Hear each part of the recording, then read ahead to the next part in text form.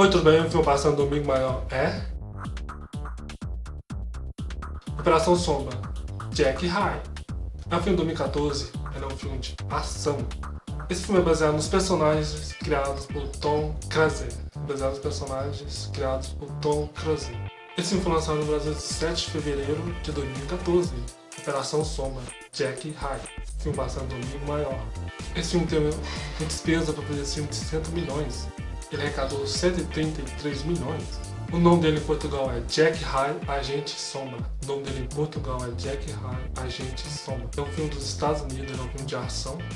Esse filme tem uma crítica de 56% no Hot Tomatoes. Crítica positiva.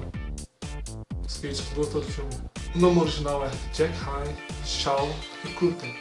O nome original do filme. Em inglês. O nome original o diretor Kenneth Braga se interpreta o vilão do filme. Se você gostou, inscreva no canal para ter mais notícias de filmes e até a próxima, TV Fã, de filmes e séries. O filme passado domingo maior.